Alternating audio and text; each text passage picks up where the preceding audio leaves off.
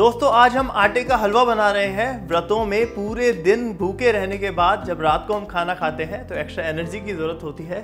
उस extra energy का पूरा ख्याल रखा गया है इस रेसिपी में। तो आइए आज बनाते हैं आटे का हलवा।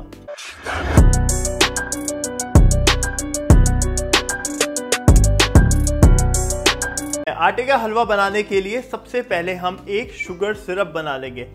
इस शुगर सिरप में हमें एक तार, दो तार का शुगर सिरप नहीं बनाना है। सिंपली शुगर और पानी को हमने पका लेना है जब तक कि शुगर उसमें अच्छे से डिजोल्व हो जाए। तो शुगर सिरप बनाने के लिए यहाँ पे मैंने एक पतीली ली है, इसमें मैं शुगर ऐड कर लूँगा और इसमें हम लगभग दो कप पानी ऐड कर लेंगे।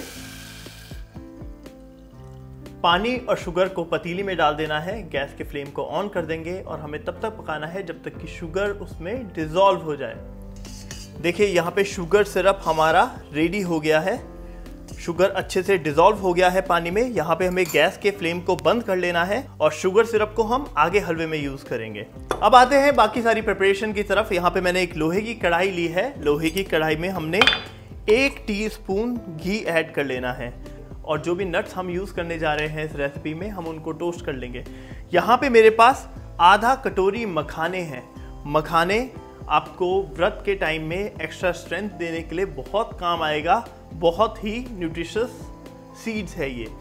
मखानों को हमने कढ़ाई में डाल देना है और ड्राई फ्रूट्स में मैं यूज़ कर रहा हूँ आमंड कैशू नट्स यहाँ पे मेरे पास थोड़े से रेजन्स हैं वॉलनट आपको जो भी ड्राई फ्रूट्स पसंद हो, आप इसमें ऐड कर सकते हैं और इसको हमने लाइटली टोस्ट कर देना है। जब तक कि मखाने क्रिस्पी हो जाए हमारे नट्स में थोड़ा सा क्रंची टेक्सचर आ जाए। नट्स को हमने एकदम लो फ्लेम में हल्के हल्के करके भूनना है। देखिए, नट्स यहाँ पे अच्छे से टोस्ट हो गए हैं।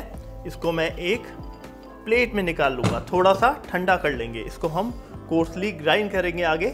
नट्स यहाँ पे एकदम क्रंची हो गए हैं। अब हमने इसको एक प्लेट में निकाल लिया है। थोड़ा सा कूल डाउन करेंगे। आगे जाके हम इसको कोर्सली ग्राइंड करेंगे।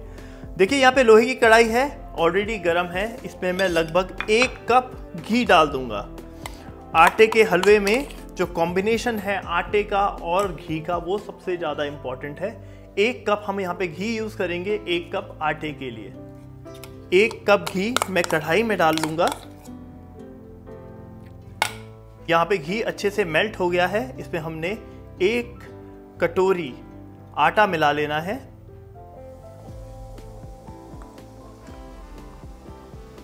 और हमने लगातार इसको चलाते रहना है। यहाँ पे हमें आटे को चलाते रहना है, चलाते रहना है और इसके लम्ब्स को तोड़ते रहना है। इसमें कोई भी लम्ब्स ना फॉर्म हो।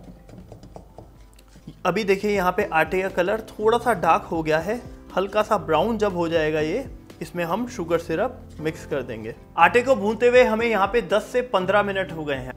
15 मिनट की कड़ी मेहनत के बाद, देखिए यहाँ पे आटे का कलर गोल्डन ब्राउन हो गया है। अब हमने इसमें शुगर सिरप मिला देना है। इससे ज़्यादा डार्क कलर हम नहीं करेंगे आटे का। आगे जाके हम इसमें शुगर सिरप मिलाएँगे और कुकिंग करेंगे तो इसका कलर और ज़्यादा डार्क हो जाएगा। और जब आप शुगर सिरप मिला रहे हैं तो आपको ध्यान से मिलाना है। थोड़ा सा केयरफुल होके मिलाइए, क्योंकि ये आपके ऊपर उछल भी सकता है। इसलिए आपको केयरफुली इसमें शुगर सिरप मिलाना है। और इसको मिक्स करते रहना है। जो भी जो भी गांठें इसमें फॉर्म होंगी, उनको लगातार ब्रेक करते रहना है। यहाँ पे ड्राई फ्रूट ठंडे हो गए हैं। अब इसको हम कोर्सली ग्राइंड कर लेंगे।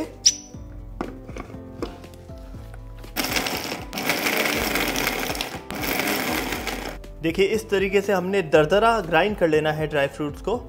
जो ड्राई फ्रूट्स को हमने क्रश करा है, इसके ऊपर से हम इसमें मिला लेंगे और थोड़ा सा कार्डमम पाउडर। कार्डमम पाउडर हमें ज़्यादा नहीं मिलाना है थोड़ा सा मिलाएँगे, बस हल्की सी खुशबू के लिए। और एक बार इसको मिक्स कर लीजिए। शुगर सिरप और ड्राई फ्रूट मिलाने के बाद आपको इसको ज़्यादा नहीं पकाना है, पाँच मिनट और पकाएँगे और हमारे आटे का हलवा एकदम रेडी हो जाएगा। तो दोस्तों, ये आटे का हलवा बनके रेडी हो गया है। आप भी इस रेसिपी को ज़रूर घर में ट्राई करें और अगर आपने मेरे चैनल को सब्सक्राइब नहीं करा है तो मेरे चैनल को प्लीज़ सब्सक्राइब कर लीजिए। Thank you for watching guys